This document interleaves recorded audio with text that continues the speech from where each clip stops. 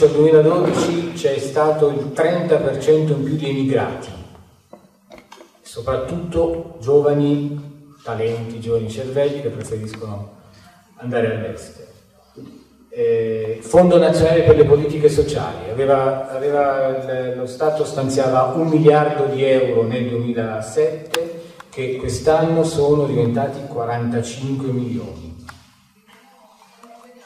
Non parliamo dell'istruzione, eh, l'Italia è l'unico paese europeo che dal 2000 a oggi non ha incrementato le spese per la, per, per la scuola, anzi, eh, i tagli sono stati micidiali, eh, più di un punto percentuale del PIL negli ultimi vent'anni. E infine, dal, sempre parlando della scuola, dal 98 al 2009, quindi in dieci anni, il numero degli edifici scolastici è calato, sono mille edifici scolastici in meno in Italia, 20.000 insegnanti in meno e 200.000 alunni in più. Ecco, questa è la situazione è descritta in modo sommario, quindi ci sarebbe molto da approfondire eh, nel nostro paese, dal 2008, almeno dal 2008, eh, perché la, la, la, crisi ha fatto sentire i suoi effetti peggiori appunto da quella data, ma probabilmente sì, le, le, i prodromi ci sono stati anche, anche, anni prima. Però, dunque, di fronte a questa situazione così eh, desolante, a questo quadro così sconfortante, la realtà eh, ancora più sconcertante è un'altra, come diceva prima Mattia Corsini, cioè noi stiamo andando a fondo e non abbiamo neanche la possibilità di muovere braccia e piedi, perché non abbiamo più la sovranità. Questo è il problema di fondo, cioè non, eh, di fronte a questa crisi l'Italia è di fatto impotente perché ha completamente perduto la sovranità in materia economica e monetaria. Non siamo noi, non è l'Italia che può decidere liberamente cosa fare, secondo i propri interessi, ovviamente i propri interessi nazionali e le proprie priorità.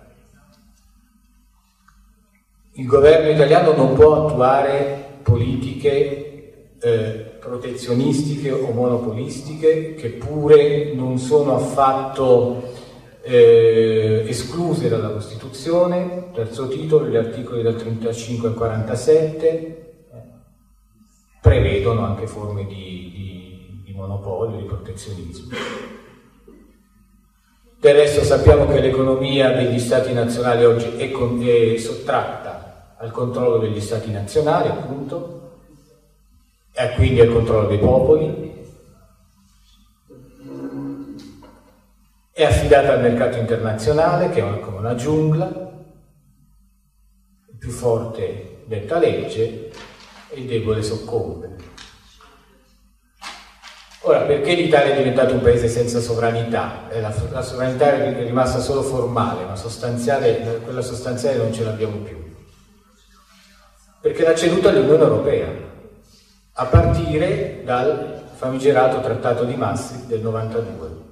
Quindi le altre tappe, Amsterdam, Nizza, Lisbona, hanno, ehm, hanno segnato delle perdite graduali di sovranità da parte del nostro Paese.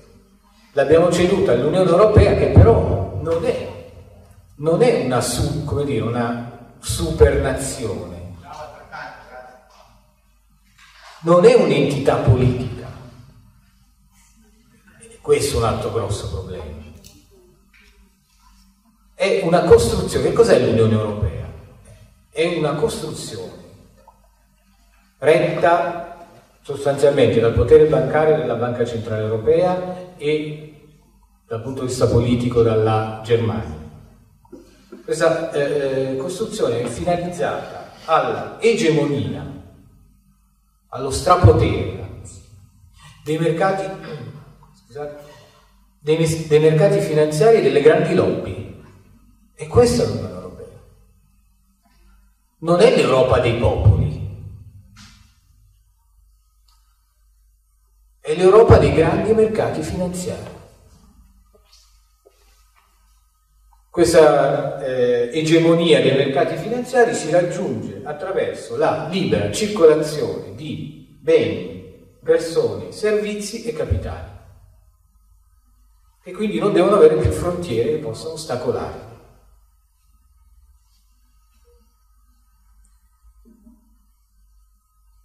E da una parte l'egemonia, la, la supremazia assoluta dei mercati finanziari sull'Europa si traduce in una perpetua austerità per i popoli, decenni di sacrifici ci aspettano, eh? decenni di tagli alla spesa pubblica.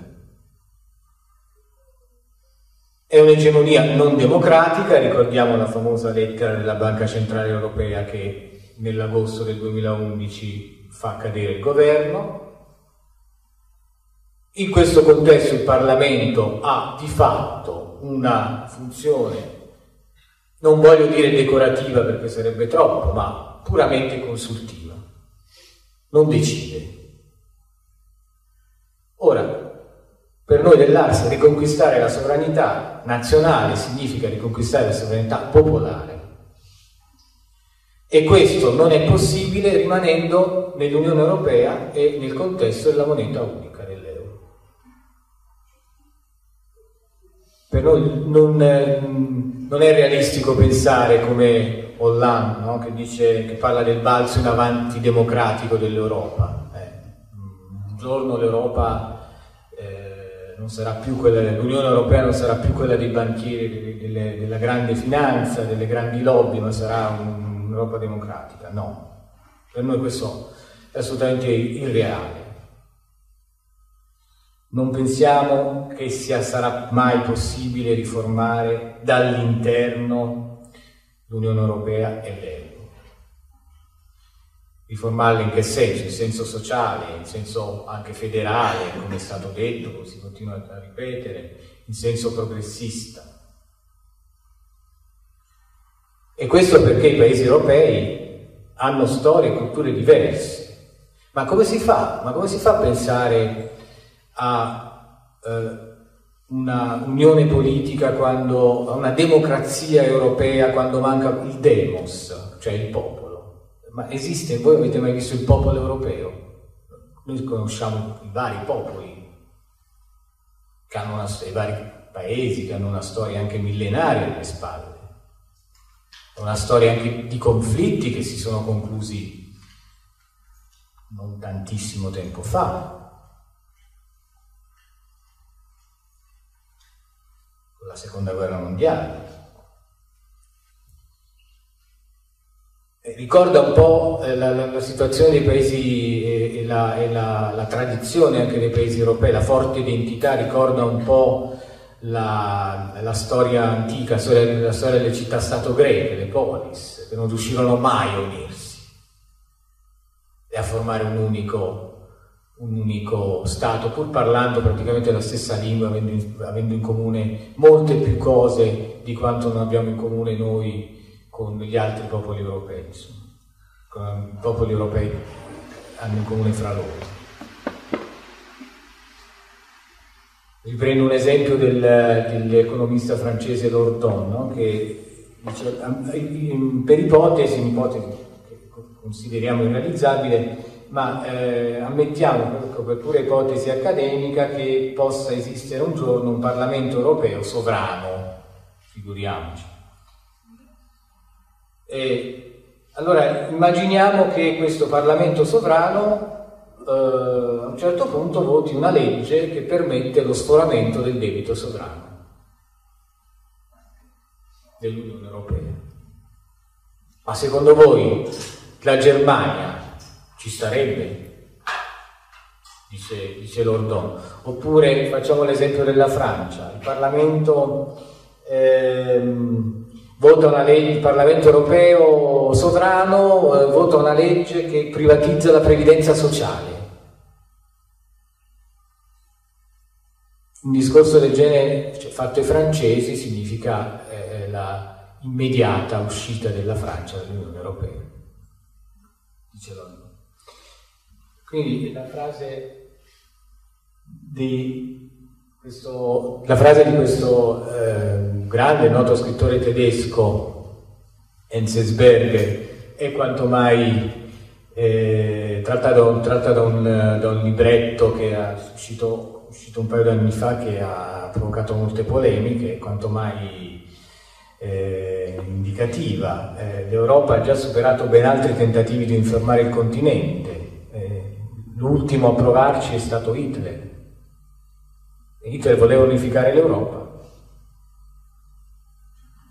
Tutti avevano in comune la ibris, cioè la superbia, questa parola che deriva dalla tradizione greca. Superbo è colui che viola l'uomo che viola i limiti, i confini che sono stati posti al suo agire dagli dei, dal destino.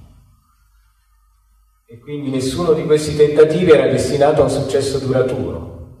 Non possiamo pensare che ripeto, paesi di tradizione eh, millenaria come la Francia, la Germania, l'Italia stessa, eh, possano mai unirsi e formare un unico superstato, ma, ma, ma non c'è nessuna, nessun realismo in questa ipotesi.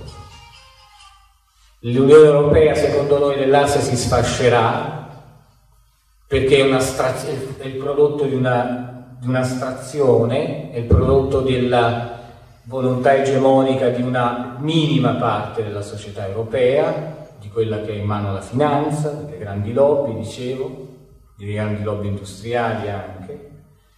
All'Unione Europea non corrisponde l'esistenza reale di nessun popolo europeo, non esiste una società civile europea, nemmeno una minoranza colta come poteva essere quella che ha pilotato il risorgimento italiano. Non c'è.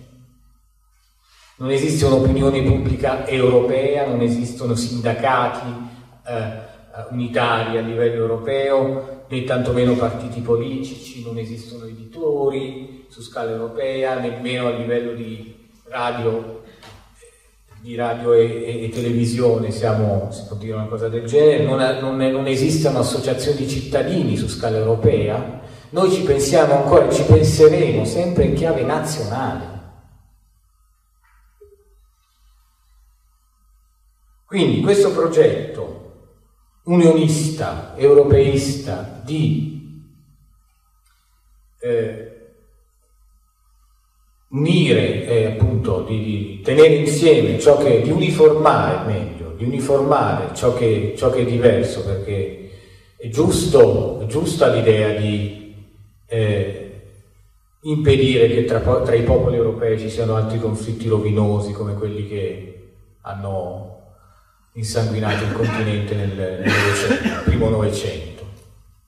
Ma non è l'Unione Europea il modo migliore per realizzare la pace tra i popoli europei.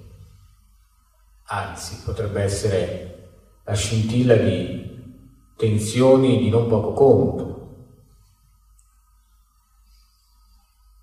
E quindi e, e, questo il, il progetto eh, unionista in che cosa consiste? Nel distruggere la sovranità nazionale senza sostituire la sovranità dei vari, dei vari paesi, una super nazione, un'entità politica eh, in grado di eh, forte, in grado di, di, di, di, sostenere i popoli perché espressione del popolo sarebbe l'espressione di quel popolo europeo che abbiamo detto non esiste. Questo progetto ignora ogni considerazione relativa al carattere, alle tradizioni, ai, se volete, pregi e difetti dei singoli popoli europei. Ci viene detto che bisogna stare insieme perché soltanto in questo modo è possibile eh, fronteggiare le sfide della globalizzazione. Dunque, l'Ars è convinta che invece le nazioni non sono morte date per defunte ormai non sono affatto morte. I popoli sono destinati ancora a una lunga vita. Nonostante i tentativi di omologazione globalista. Allora, eh, Dobbiamo sapere che il risveglio dei popoli potrà essere, non sappiamo se, e quando avverrà, se, cioè, avverrà sicuramente, ma i tempi potranno essere lunghi, speriamo di no. Ma dobbiamo sapere che questo risveglio potrà essere anche violento, potrà prendere strade e forme che non ci piacciono, potrà avere aspetti nazionalisti,